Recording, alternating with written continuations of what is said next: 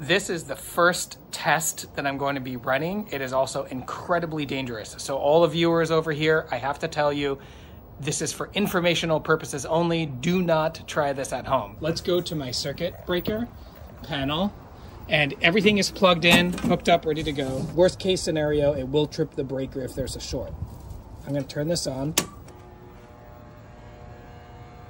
You can hear there's a buzzing, so that's a good noise. I'm gonna turn off my breaker and then remove the lid. Notice how I'm being overly cautious because this is extremely, extremely, I can't stress enough, extremely dangerous. So we're dealing with lots and lots and lots of power. So I'm gonna turn this back on and we should see a pair of the coils start glowing. And I can definitely feel it's getting warm.